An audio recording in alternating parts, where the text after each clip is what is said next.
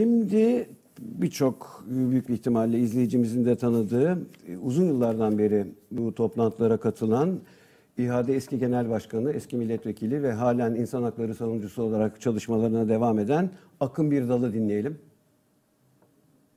Ee, Öncelikle bunca yıldır katıldığınız bu tür uluslararası toplantılarda olumlu ve olumsuz gelişmeler nedir Avrupa açısından? Türkiye'ye bakışlarında ne gibi gelişmeler var? Yani kuşkusuz şimdi olumlu yanı örneğin bu Kürt konferansının geleneksel hale getirilmiş ve Avrupa e, parlamentosu çatısı altında e, konuşuluyor olması ve bugün iki oturumda da birçok uluslararası kuruluşların e, ve siyasi partilerin temsilcileri vardı. E, bence gündemde tutuluyor olması çok önemli. Ama ne yazık ki bakın 15.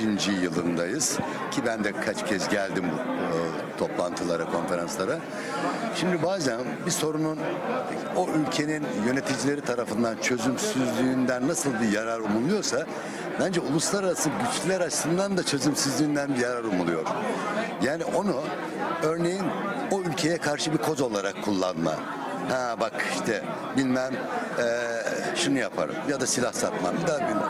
Ben bugün dediğim gibi bence bil- uluslararası bütün toplulukların eee, kendisini sorgulaması gerekiyor aslında.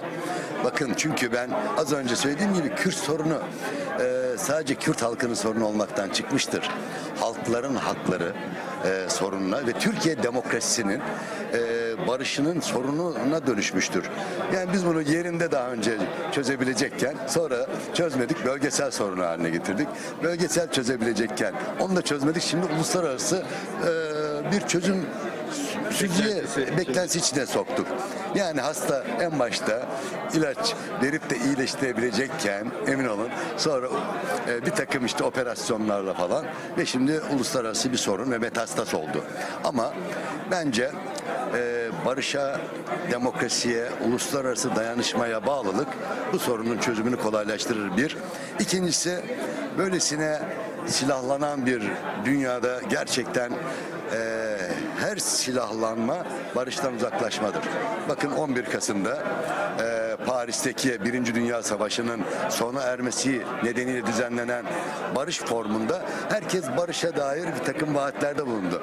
Ama diğer gerçek e, soğuk savaştan sonraki silahlanmanın hızla artıyor olması ve en son e, Sipri Barış Enstitüsü'nün raporuna göre 2017'ye göre 1 trilyon 782 milyar dolar silahlanmaya ayrılan para.